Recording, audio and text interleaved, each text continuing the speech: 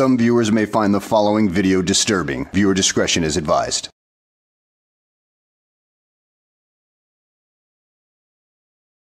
Well, hello and welcome back to the channel, everybody. In today's video, we join Judge Tammy Hayward as she uh, destroys, absolutely annihilates a sovereign citizen in her courtroom. So let's go ahead and grab some popcorn and sit back, relax, and enjoy the show. All right, Mr. Resto. Um, so, Mr. Resto, you have two cases. You have um, count case Uh, number. You hear me? Yes, I hear you. So you're before the court on 2019 CR 04954 for driving on a suspended or revoked license, no license, failure to display license, uh, for or failure to have license on person. I'm not sure it cuts off, and no tag or expired or invalid tag. So that's on the first case. On the case from 2020 03114, you have a suspended or revoked license. Definitely sounds like a uh, average sovereign citizen right there. I mean, just racking up the charges. You're represented by Lister and Holt on one of the cases, but not on the other. Did you want Lister and Holt to represent you, or did you want to represent yourself Uh, I I represent myself. on both cases? Uh, yes, yes, ma'am. Uh, I have a quick question as far as uh law term when it comes to uh driver's license. Okay. Um, okay, you're only allowed to have one driver's license, and I Right. have I have an Alabama driver's license. So when I get pulled over, I actually showed them my Alabama driver's license, and it's current. It's the most current, and so they make a determination if they should go off the Georgia driver's license or the Alabama driver's license. And when I present the Alabama driver's license, they let me go because my Alabama license is valid, and you're only allowed to have one. And I had Alabama license. Oh, Honor, so my I believe this sounds like a not guilty. Are you sure you want to represent yourself in this matter? Because you're coming out of the gate fairly weak. All you have to do here is say guilty or not guilty or no contest because this is the arraignment. This isn't the trial. That comes later, you dummy. Okay. So, Mr. Resto, what Mr. Taylor is saying is I- this is something that you could prove at trial. If you um, present that information at trial, then um, that means you want to go to trial instead of taking a plea. I don't know what the recommendation is, and I don't Well, know. the, the the recommendation was, um, I think I was I've been dealing with this case for an awful long time now, so Yeah. I don't really want to go to trial. I just want to get it behind me. But I think that the recommendation, I remember the recommendation quite clear. They offered me forty hours of community service. Is that still on the table? Okay, no, Mr. Resto, it's more than that. So let me explain why I know it's more than that. So the basic uh, fines and fees for driving on a suspended license is the first time in five years. If you get one, then you're int- you can enter a NOLO plea if you have a NOLO plea eligible to you, and then the fine is five hundred dollars.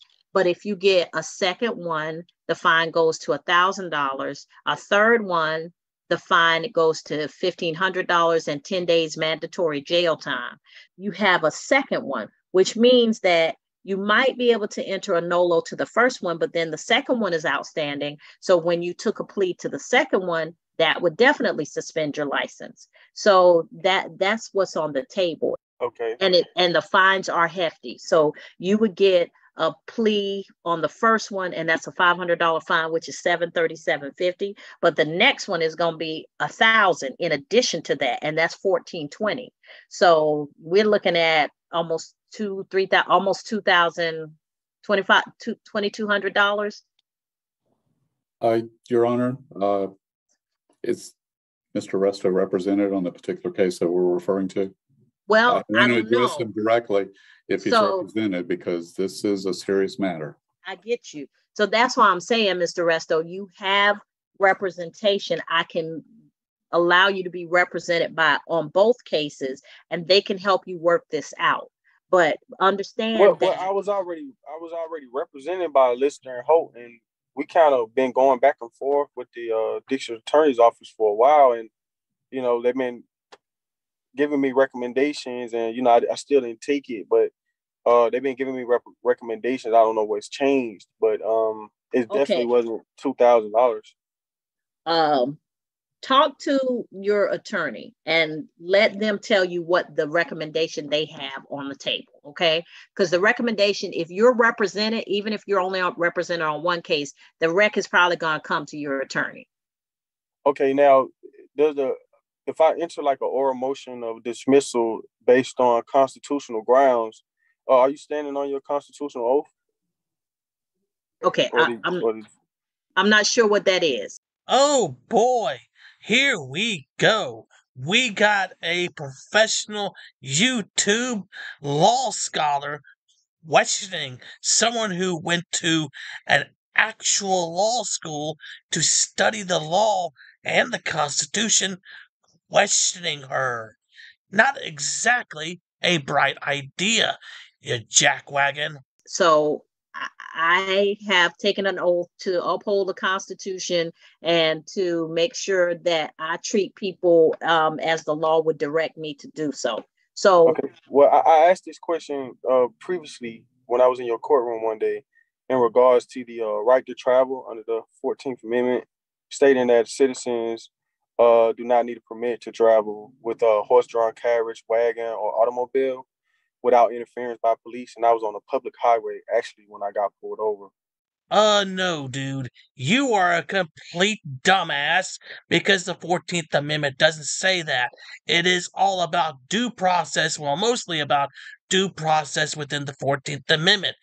Go out and get a book and actually study this thing without looking into any Sovtard literature. okay, so that that's not actually in the Constitution. And So I don't right to believe travel- the automobiles right were around when the Fourteenth Amendment was ratified. I'm sorry. Go ahead, Mr. Taylor. I just uh, wanted to point out to the court that automobiles hadn't been invented when the Fourteenth Amendment was ratified. That Yeah, may it, said, it, said auto, it says automobile, horse, drawn wagon, or carriage. Okay, so, uh, so uh, an, au- an automobile is not necessarily a car if it's a household good. It's it's just a form of transportation. It doesn't matter if it's an automobile, horse, drawn wagon, or carriage, because it's still a form of transportation, and uh, citizens have the right to travel without interference by police. So I don't even know how the police are even allowed to interfere with travel when I'm not using my vehicle for commerce. Uh, Your Honor, And it's uh, it's at Hold a on, this Mr. totally Taylor. private household good. okay, so Mr. Resto, if somebody drove 100 miles an hour into the back of your vehicle um, and killed your uh, a family member, would you want the police to interfere? Uh, that's that's uh, a murder. I mean, that's that's if someone got killed. But they're traveling. You can't interfere with somebody traveling. No, I mean you you you can't. Uh, uh, it's stating that a police just can't interfere with your traveling, like pulling you over for a, a, a traffic violation or you know a, a tag. It, it, But you want them to interfere if now, now, somebody. if you murder somebody because well, sovereign, okay, sovereign- say you don't mur- murder them. Say you just hurt them. Say you just damaged the vehicle. You don't want the police to interfere. No no no that because that that's when it almost becomes like an accident or a crime or whatnot. So the police can. That's not really an interference. An interference with your traveling, not an interference when two citizens engage in an accident. It's interfering with you just traveling. Okay, so you want the police officers to do their job when it suits you, but uh but to leave you alone when it inconveniences you. Is that what I'm hearing here? Uh no, it doesn't exactly work that way, dude. The police don't work on your whims. They work by enforcing the law. And if they catch you doing a dumb on the highway, like having no plates or license or anything like that, you're a danger to everybody else through sheer lack of insurance, which basically means if you have no coverage, well, who's going to protect you in that scenario? Because you gotta pay the price for it. Now, police officers, as far as public servants, they have a duty to serve to the people. So if a car accident occurs, then of course public servants, far as ambulance, far as firemen, they will come to the scene just as a service. But for you to just interfere in my traveling is actually a violation of the Constitution. Well, sir, the Constitution and the and the cases that have come out of the constitutional jurisprudence allow cities and states and municipal organizations to regulate travel for the benefit of the citizens. So they can put reasonable re- regulations on travel, meaning they can ha- you can have a license they can grant you the privilege of having a license to drive. They can regulate how your license is take is um, seen. If you are uh, don't have a license or if your license is suspended, they can intervene to take your license away or your privilege to drive away. You could it is a crime. You can be convicted of not driving under a pri- proper license. So the government is allowed to intervene in a lot of ways with people traveling. So I'm not sure where this information comes from, but there's a lot of stuff on the internet about traveling and the 14th Amendment and horse and buggies and even maritime law. But I mean, an automobile, automobile was actually created before a driver's license was ever created. So people okay. was actually operating their case pamphlets where people was actually operating vehicles before a driver's license ever became. Well, yeah, the automobile existed before driver's licenses. You're a genius, aren't you? But you know what? They also found out that not everybody can operate or properly operate a uh, rather large piece of equipment like that without sufficient training and regulation without killing anybody. I mean, let me give you an example. If a uh, person was mentally unstable or unbalanced and incapable of operating one of these machines, suddenly decided to, well, operate one on the open road and gets pulled over by a police officer, and there were no such things as licenses, but the officer didn't notice that this guy had a mental condition and uh, ended up letting him go. Now, what would happen afterwards if this guy got into a collision with somebody else and ended up causing havoc in the streets. Now, in your little world, the uh, police officer would have let the guy go because, you know what, nobody needs a driver's license, so he's free to go. But in our world, the officer would have seen that this guy had no driver's license seen he was a basket case and would have called for backup to take care of the issue. And nobody would have gotten hurt in that scenario. But in the scenario I presented earlier, people would have gotten hurt or worse because you know what? The officers have no power and people aren't tested to see if they're competent enough to drive or not. That's actually yeah, y'all, you guys are actually a conflict of interest, actually, far as you being in cahoots with the DMV. That's a totally separate entity. Okay. so, Mr. Reason, Resto, do you want to uh, resolve the case because it's not? I, I want to resolve the 40 case. Hours I, I, dis- I disagree with the with the with the fine amount because it changed. I would pay a. I, I would make an offer like I can do a thousand dollars, maybe twelve month probation. M-. But two thousand dollars, that's excessive. Mr. Resto, we're not negotiating. Those are statutory fines, meaning they're written into the law. I can't even change them. Can can I make a counter offer to the state and say it's it's thousand dollars? That can I be? No, because I did do sir. time in jail. If the state would see that well, and count. That's why I'm saying that you may want to speak with an attorney because certain things that they can negotiate, I can't change the statute. I can't change what's written in it, but they can negotiate. And if the solicitor wants to give you credit for time in jail in lieu of the fine, those are things that they can do that I can't do. Yeah, yeah. So so I will ask to the uh district attorney, uh knowing that I, I, I did serve some days in jail, can you guys okay. lower the fine and I just go ahead and end this so case right now? I can I can do a thousand. I got a thousand dollars right now. Okay, okay. So you could pull out a thousand dollars for uh, that fine, but you're unwilling to pay the licensing fee, which is uh, significantly cheaper to maintain over a period of years. And you are a complete moron, but then again, you are a sovereign citizen, so therefore, you are naturally a complete moron. Mr. Mr. Resto. So that's a conversation that you need to have with them directly without me being present. Number one. Number two, the reason I keep saying you might want to go through your attorney is because they can explain to you what is already on the table and how that may or may not change. Okay. What, what what what's on the table now, man? I don't know. That's what I'm saying. I would rather you have that conversation in a breakout room with your with the attorney who's assigned to your case and with the state as opposed to here in the main room. One, because I have other cases that need to be addressed, and two, because that's not information I need to hear. Okay, is it is it anything I can do to get this case resolved now? Because it's been lingering on. I'm telling you what to do, but you're not listening, Mr. Reston. Mr. Resto. I mean, today, like I want to resolve this today. I get that you want to resolve it today, and I'm telling you what to do, but you're not listening to me. I said you can go into a breakout room with your attorney, and the attorney and you can discuss what's already on the table. And then, if your attorney wishes to speak with the state to clarify anything, they can do that too. But you're not going to get it resolved by going back and forth with me because there's Okay. stuff I cannot do. Okay, um, just tell the state that I'll take their recommendation. I'll just pay the two thousand if they can give me twelve months to pay it off. And Okay, if I but, can, and if I pay it off early, if my probation can be terminated, that would be great.